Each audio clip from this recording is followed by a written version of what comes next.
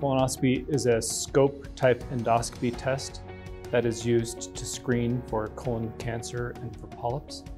It's an, it's an important procedure because colon cancer is the second leading cause of colon of cancer-related deaths in the United States. And colonoscopy is a, a, procedure that can be used to both screen people for and prevent uh, colon cancer.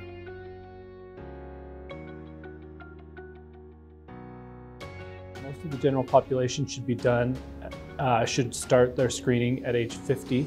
There are a few exceptions, people with a family, a family history of colon cancer, which includes a first degree relative, meaning a parent or a sibling.